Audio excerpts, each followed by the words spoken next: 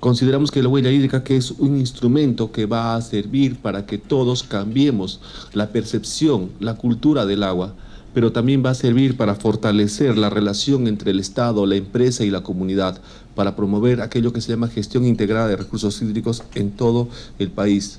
Pues eso impulsamos a través de la huella hídrica que las empresas realicen acciones de valor compartido en sus comunidades con participación de todos los actores de la cuenca.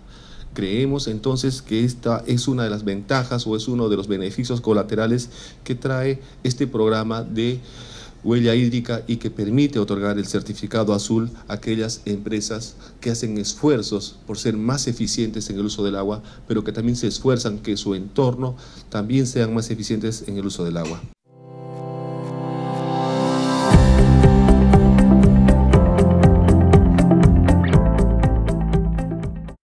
Gobierno del Perú, trabajando para todos los peruanos.